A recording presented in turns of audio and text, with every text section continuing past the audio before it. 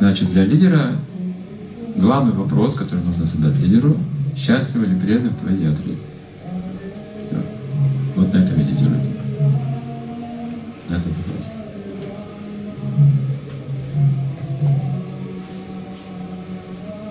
Что преданных делать счастливыми в ядре. Что делать преданные счастливыми в ядре? Да, если они несчастливы. Ощущение свободы и бесстрашия.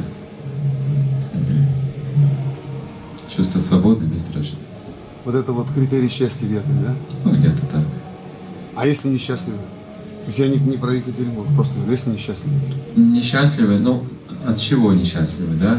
Может быть, и несчастливы от личной жизни бывает тоже. Это. Может быть, не в нашей юрисдикции все, да? Но в целом, если говорить о вере преданных, это и есть их счастье. Вера. Вера — это первая ступень счастья уже. Тоже чувствовать можем счастье. Вера есть, счастье есть, считается.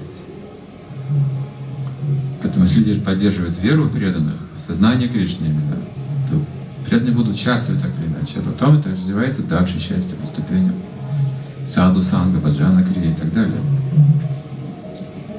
Вплоть до того, что человек сам становится источником счастья для других на какой-то момент. Но вера — это уже начало счастья. Ее так чувствуем.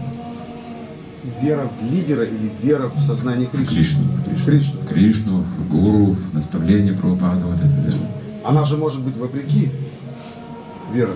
То есть вот все вроде не очень хорошо, но я во- вопреки всему. Да, да, да, да. Тем не менее, я счастлив, потому что есть вера, верно? Есть вера. Это сила. Значит нормально. Да, это нормально. Это вот лидеры должны помогать эту веру поддерживать. Это нормально, это